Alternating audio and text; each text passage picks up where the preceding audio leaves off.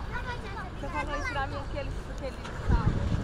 Deixa eu, eu vou ensinar a minha chave.